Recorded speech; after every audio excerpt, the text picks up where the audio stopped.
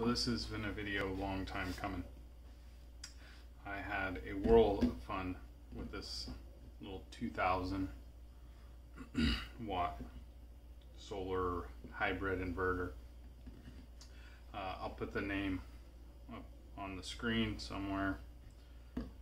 But the main thing is the model number goes by Sun 2000 G2. This is a 2000 watt, 240 volt. Well, 230 is what they claim, but it is a split phase 240 volt uh, inverter. 40 to 60 hertz or 65 hertz. Um, DC input is 45 to 90. That's going to become important later. So I bought this for testing. The main reason why I purchased this one was because of this little input right here. That's a current sensing clamp. This is a zero export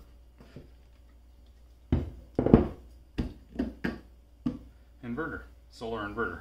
So you can have your batteries, well, you have your DC input, that could be batteries or solar panels, and then your AC out. It will match frequencies, but it won't export to a grid if you are connected to a grid. If you are connected to a grid. Now, this thing was about $400, I believe, and it failed in less than 20 days of operation. I already have this one open because part of attempting to get the warranty through the manufacturer was they wanted me to do solder repairs on the main board myself. Now it turns out that the DC caps or the DC the caps on the DC input are sized very close to that 90 volts. Take a look at it. You see, I already had it apart because they wanted me to rebuild it myself. And if we look at the DC caps here, they are indeed 100 volt caps. I'm not sure if you can see that or not. So, yeah. So initially, when it happened, what happened was I had it hooked up. I was doing some testing with the current sensing clamp. One night, I went in, changed some programming on the current sensing. Woke up the next morning after the sun had come up. Well, I woke up before the sun came up, but I came out to check on it after the sun was up. And the screen was off. Thought that's odd. Powered it all down. Powered it all back up. No dice, no screen, no nothing. Disconnected the DC input because one of the complaints I'd heard online were these caps blowing out. Disconnect the DC input, still no dice. Reconnected the DC input, disconnected the AC input, no dice, no screen. Pulled it down, I could hear rattling inside. I'm gonna pull you in, I'll show you what actually blew on this, and then we will move on to some of the replacements. All right, so sorry for the uh, little shaky cam here.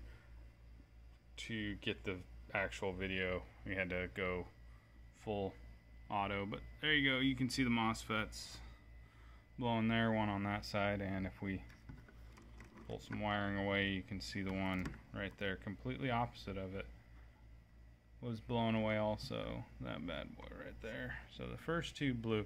Now I don't, well, not the first two. I guess it'd be the second two. Now, I don't know if this was a voltage issue on the AC input side. I don't know if this was a clamping issue, a thermal cycling issue, or just straight garbage. But what it came down to was I wasn't going to deal with this. So now it should come as no surprise that I do not recommend the insert name here brand that I just threw away. But I had heard a lot about Growatt. So this is the 3000 watt Growatt model number. It up, see if maybe you can see it. Uh, the 3000 TL LVM 24P. So this is the 24. I did not get the Wi-Fi module. I don't care about the Wi-Fi module. I'm not going to download any app. Interesting enough, they do have an office in LA, allegedly. And I called the number, and somebody answered and talked to me about this one. Did they answer my questions entirely? No. Um, I really wanted to know about the automatic transfer switch in here because this one is going to be used in an off-grid situation where there will be a generator hooked to it. This is going to be the primary inverter for the entire house, well, trailer. And uh, yeah, the biggest thing is I need to know that when it's time to run the microwave, this should run the microwave, but when it's time to run the microwave maybe for an extended amount of time, or maybe it's time to run the AC unit. I doubt this 3000 watt bad boy is going to be able to do it. I can stack these, that will do it. That's a feature upgrade potentially. So when I called, they weren't really clear on it. The um, book, I believe, says to put a 40 amp breaker on the AC input. So if it's a 40 amp, 240 volt, or 120 volt, that should be more than enough to run the AC unit. But I think that's like a peak breaker. Um, who knows? We'll find out. Um, I'll take you along on the build of this. That'll be on another date, another time. We got two 200 amp hour Chins batteries going with it, and six 320 watt solar panels. Um, so we're gonna have tons of solar. Uh, but yeah, so we're gonna open this up and see what it looks like compared to the other one, because why the fuck not? Little cover, metal, nice. This is where all our inputs are at. The AC breaker, input breaker right here is rated at 40 amps. So um, we'll see all of our connectors, our bus DC bus bars. One thing to note on this Growatt is if you try to put it into the lithium iron phosphate or any lithium battery profile, it does want to be connected to the BMS. And that's via an Ethernet cable. Now, obviously, that's not possible on my Chins batteries, but uh, you can program custom, at least from what it looks like, you can program custom uh, charging profiles. And the Chins batteries are basically meant to replace most other 12 volt flooded batteries. So as long as we pick appropriate, you know, cutoff voltages and charge rate, we should be good there. And float charge. Um, this is what all comes with it. This, this, and this. It's a USB cable. I'm assuming it's for some sort of programming. Haven't gotten that far into it. I'm hoping to be able to do everything from here, but I will have my laptop with me just in case. And then the rest of this is for paralleling. This is a serial or the communication for paralleling, and this is the voltage for paralleling. Um, so probably won't need most of this, at least not right away.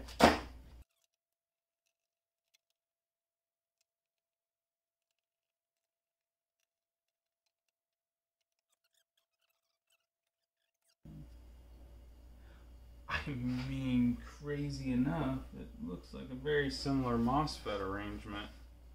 Um, so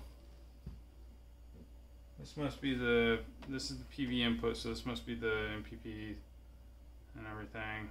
Um,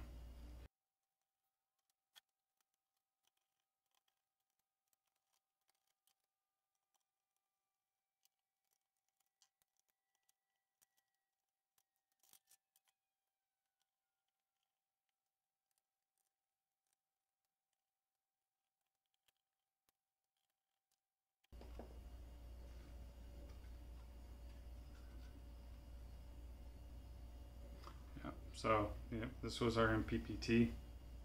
Um, this must be a pretty, maybe a pretty standard board. I don't know. Um, if anybody's curious, there's your part numbers and everything. I hope you can see that. I will say, granted, this one is a thousand watts more. Everything is significantly larger. There's that. Um, it's interesting. Every every uh, screw has a mark on it. Like somebody as they were like they put it together and then somebody came after and and marked it for the assembly. It's kind of cool. Um, most of the components or a lot of the components have Silastic on them, not the connectors, which is kind of nice, I guess, because then we don't have to worry about it. There's a little brain board over here. That's the one that was going up to the display. And this.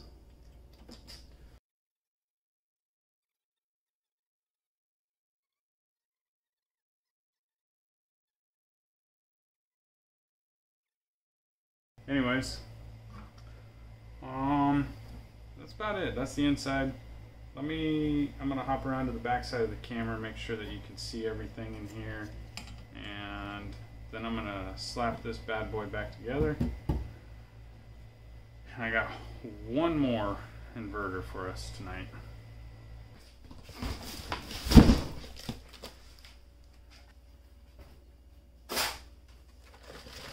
And what do we get with it? Get some lugs. We get a fuse. Instructional software. I'm assuming some kind of communications. This is the Sun Gold TP6048. For brevity on this one, I'm just going to go ahead and uh, put the relevant information from this somewhere on the screen right now while we start pulling this apart.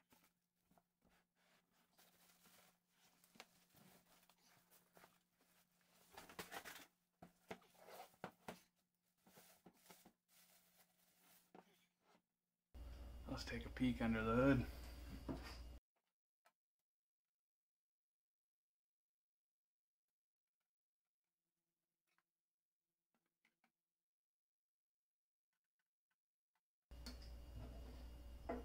Oh, I didn't notice this before.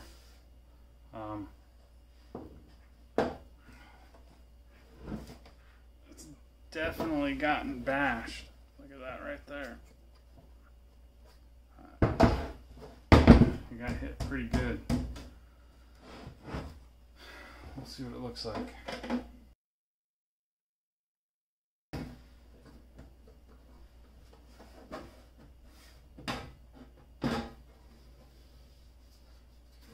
there you go. Might be able to straighten that out a little. Holy. So, that's where our weight is. That's a beast. Um, some some things look similar, some things look not similar. Silastic on a lot of these connections. Solar input. Uh, it definitely is not the same board as the other one. but it is very similar, even with the communications going to it. So um, I definitely kind of want to get down to this. Let's take a look at it.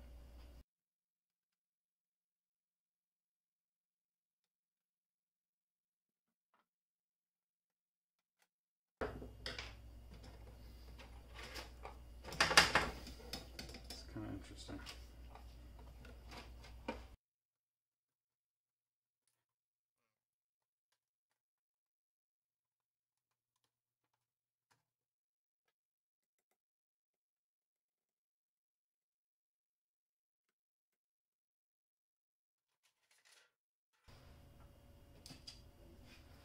Ta-da! So I think what originally happened, because this was kind of all loosey-goosey in there, is that this guy got cross-threaded in this stud.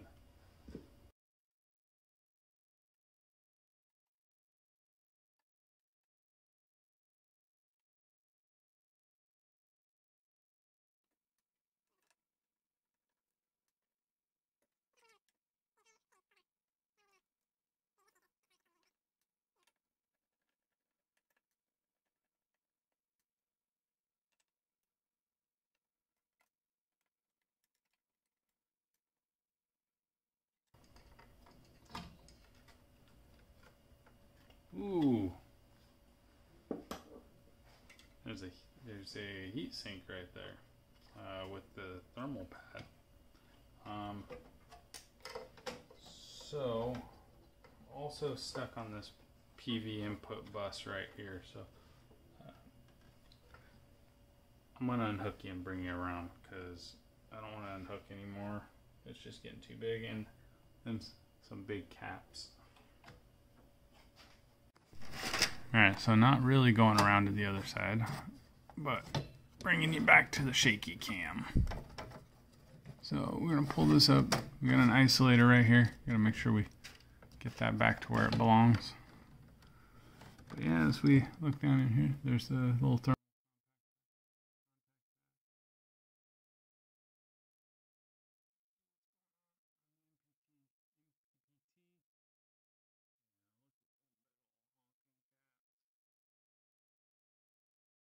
Figured out what happened here.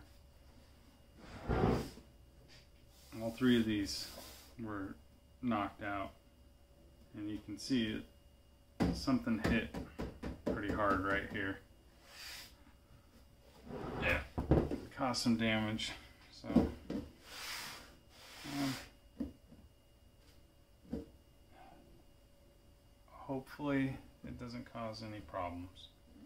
But yeah, I mean, if you're paying for weight, I got my weight. So that's the difference between a 400, an 800, and a 1500 dollar Chinese inverter. Um,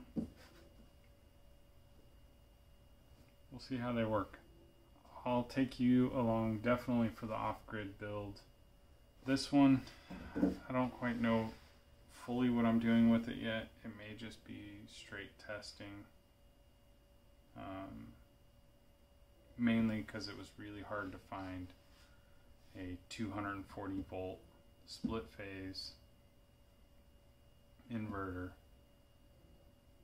that was a single one that you didn't have to parallel and this was it it just doesn't have the current sensing clamp for zero export. But definitely feels like it might hold its own. Uh, we'll catch you on the next one. I'll put a link to all of these down below. I definitely do not recommend the first one. Don't waste the money, don't waste the time. Unless you want to buy the extended warranty, I guess, for like 15 bucks and ship the damn thing back every six months to a year. Um,